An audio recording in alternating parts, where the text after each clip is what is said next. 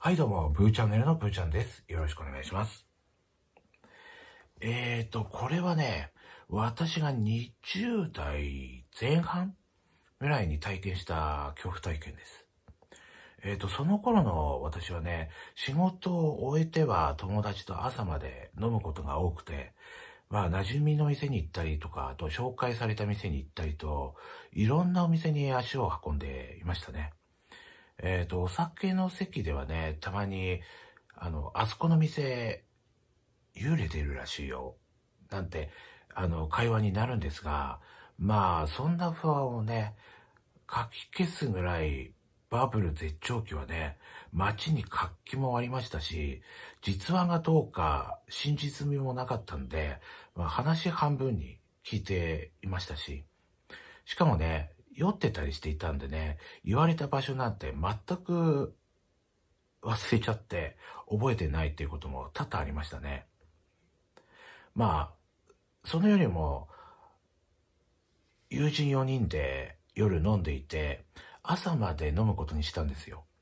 で、するとね、友人の一人が行ってみたい店があるっていうので、一度生産して、その店に向かう、向かうことにしたわけですよ。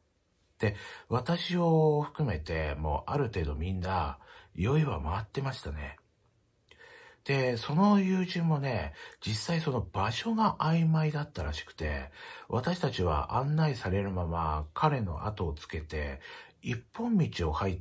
た路地に入りました。で、メイン通り的な場所が、あの、お祭り騒ぎのように賑わっていたんですけど、一本道を入るだけで、静かになってガラッと雰囲気が変わったんですよ。で、その道は私も歩い歩いたことがない道だったんですが、まず感じたのが異常なくらいの寒さ。その寒さで私の酔いが一気に冷めてしまって、もう悪い予感がしました。直感的にここは良くないって感じたんですが、酔った友人に説明することも、まあ難しくて、とりあえず案内してくれてる友人をせかしました。で、お店は近かったようなんですけど、その途中で5階建てほどの茶色いビルがあったんですよ。まあ、廃墟っていうほど、あの、廃れてはいなかったんですが、明かりもついてなくて、入り口には鍵がされてました。で、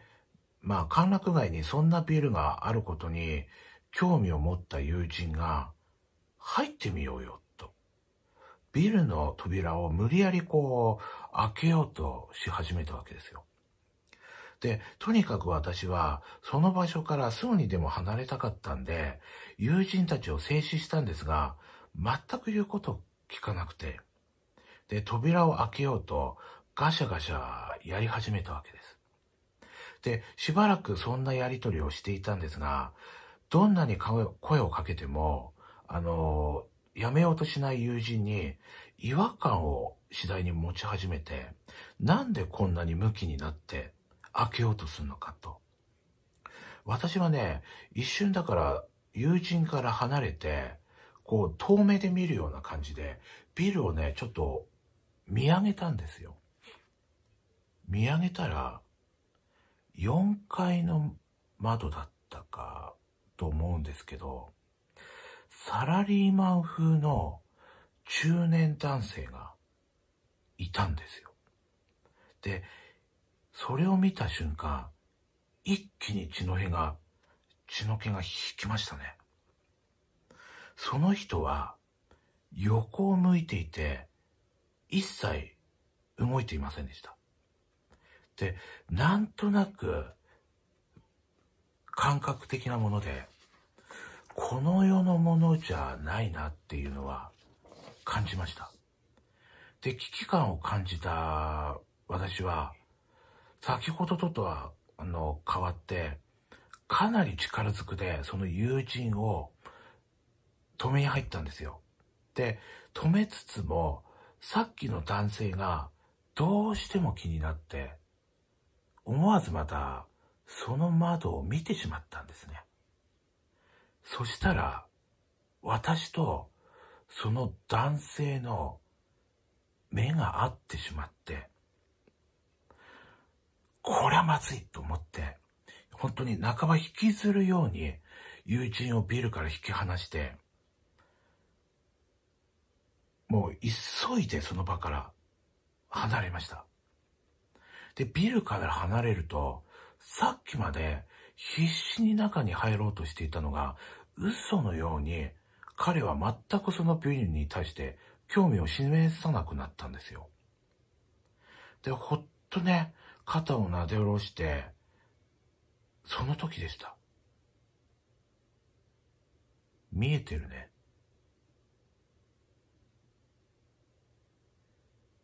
見えてるねって。男性の声で、後ろから声をかけられたんですよ。見えてるねって。私は慌てて後ろを振り向いたんですけど、そこには誰もいなかったんです。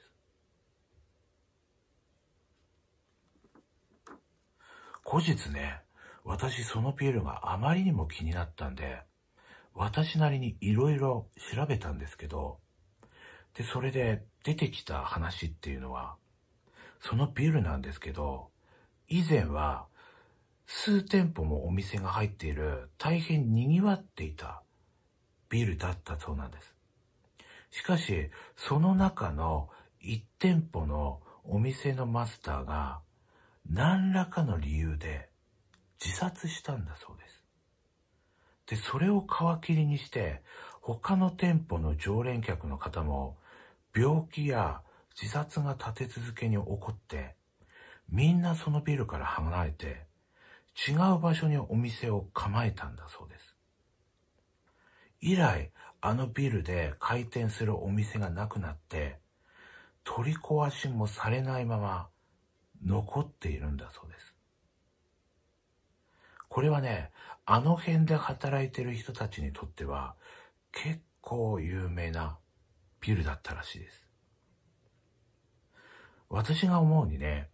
ビルには確かに霊らしきものがいましたが、私はむしろね、あの通り自体に何か嫌なものを感じたんで、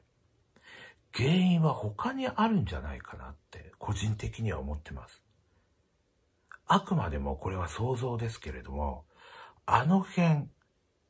あの通りがそもそも霊の通り道、いわゆる霊道になってて、それを塞ぐようにあのビルが建ってしまった。おかげで霊の溜まり場となってしまったんじゃないでしょうか。まあ、あれ以来、もう二度とあの場所には立ち入ってないので、その後あのビルがどうなったかっていうのは私にはわかりません。